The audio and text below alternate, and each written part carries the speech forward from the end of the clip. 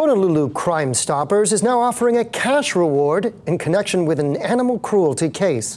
Honolulu police are looking for the suspect wanted for first degree animal cruelty after someone shot a family's pet cat last week with a BB or pellet gun in the Kailua area. Now, it's an update to a story we first brought you last Thursday night. The cat, named Chip, later died from his injuries.